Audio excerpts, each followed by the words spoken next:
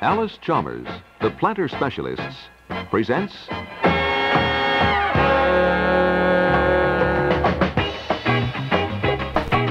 a practical way to kick the habit of planting corn and soybeans the conventional way. From the earliest days of recorded farming until the mid-1960s, plows and harrows have turned the land upside down every year. Once the land was plowed, as many as five trips more were made preparing the final seedbed. After the seed was in, farmers made one to four trips more prior to harvest. In total, conventional crop growing practices often required 10 separate passes over the field. Are these trips necessary? How many can you eliminate? as many as nine, which just naturally has to cut expenses and earn savings in many ways. So cost-cutting no-till planting from Allis Chalmers makes sense because it saves time automatically by planting directly to unworked soil or sod. It lowers production costs with less labor, fewer tillage machines to own, operate, and maintain. No-till controls water erosion prevents the runoff of conventional overtillage. No-till reduces wind erosion. It doesn't disturb between the rows sod or stubble, which prevents soil blowing. It conserves soil moisture. Both runoff and evaporation are reduced. No-till improves soil structure. Overtillage breaks down natural soil characteristics, so when it rains, surface crusting results. The entire plow depth profile can become compacted limiting normal root growth. No-till offers new practices, such as double and multi-cropping. Two or three crops on the same land each year could double your profit. No-till pays immediate returns, allowing you double the productive capacity of your farm without buying or renting more land. You can expect yield increases, especially in a dry year, because more moisture is retained in the soil. And no-till is profitable. Fewer field trips, less fuel, fewer implements. From production to investment, your costs are lower. Some farmers claim more uniform seed distribution. Others, higher germination. Even reduced harvesting losses because of improved root and stalk structure. What separates no-till from other minimum tillage units?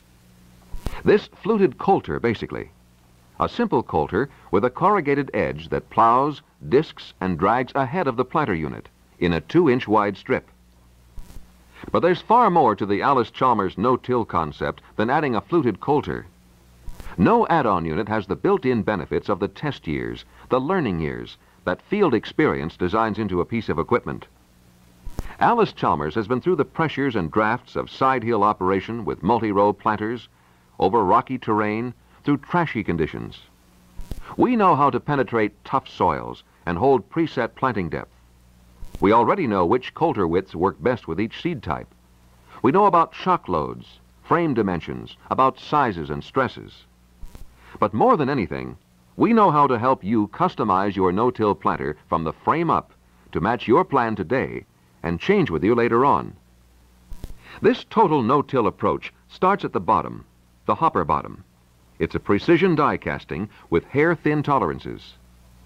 The entire bottom cutoff, and knocker are specially impregnated for smooth surfaces, long wear, and accuracy. The cutoff is adjustable for accuracy with varying seed sizes. It prevents doubles by continually wiping the seed plate. Allis Chalmers seed containers are tough polyurethane, translucent so you can measure seed level at a glance. This isn't one of our usual tests, but as you can see, even the full weight of a car doesn't crush through our seed containers. As a combination, our exclusive hopper bottom and short 14-inch vertical seed drop deliver precise seed singulation and accurate spacing without seed bounce in the boot. The 72 planter unit is close coupled from press wheel to toolbar. This means accurate depth control. Averaging 200 pounds, each unit has the weight to penetrate stalk ground and wheat stubble, individually following contours instead of planing over the high spots. Twin beam parallel linkage with special down pressure springs lets the boot float vertically and stabilizes the unit side to side for precise row spacing. Grease fittings are located in a bank for quick, convenient lubrication of the hopper drive. You control planting depth in quarter-inch steps through a double row of offset holes in the press wheel frame. The press wheel sprockets are changed to vary seed spacing. The drive chain is shielded so it can't collect field debris. Each unit is individually ground driven, which results in accurate plant spacing and depth. You get all of the bred-in grow power your seed selection offers. Spring-loaded press wheels firm the soil around the seed. This promotes fast, high-percentage germination. Three chemicals are usually applied at planting time. Fertilizer, insecticides, and herbicides, granular or liquid. Fertilizers, for the most part, are corrosive. Thorough cleaning at the end of every planting season is essential. In cleaning, an easily overlooked area is the auger. Let it cake up, and it'll wear down, gradually decreasing output rate at selected settings. Dry fertilizer hoppers are available in 250 and 500 pound capacities to match row spacing and number of rows.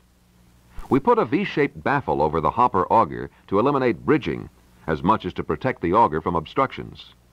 And we put a spring around the drive shaft. This spring flexes and the opposed motion of the shaft and spring result in self-cleaning action. Drop tubes are mounted to the hopper and the auger with a slotted adapter that also acts as a relief valve.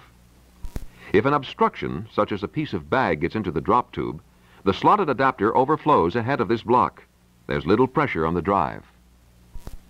18-inch fertilizer openers are recommended for both dry and liquid formula. There are three types of liquid fertilizer systems. The gravity system is the least efficient, though inexpensive. The second system is the pressure type, an improvement over gravity. It has a pump hookup to the tractor which makes it easier to hold calibration and speed relationship. Probably the best liquid system is the squeeze type. Nothing to hook up to the tractor, no screens, valves, or nozzles, nothing to corrode. It is ground driven, so rate of application is constant, and it handles thick or thin liquids. This particular setup has one squeeze pump for sideband fertilizer and the other for pop-up fertilizer. You can choose liquid insecticide and herbicide equipment for in-the-row placement as well as band or total coverage. Dry formula chemicals meter through a fixed hopper aperture and variable fluted wheel. You change application rates by changing the wheel exposure to the aperture. You get constant delivery regardless of ground speed, and the unit stops when raised. Chemicals can't sift into the tube at row ends. Allis Chalmers no-till planters have soil and crop-matched adaptability in both frame and planting unit, in attachment and accessory availability. A total selection approach that brings reliability, adaptability, capacity, and accuracy to your planting program today and as you plan for tomorrow. Giving you all of the crop growing benefits and investment advantages of no-till planting. From Allis Chalmers, the planter specialist.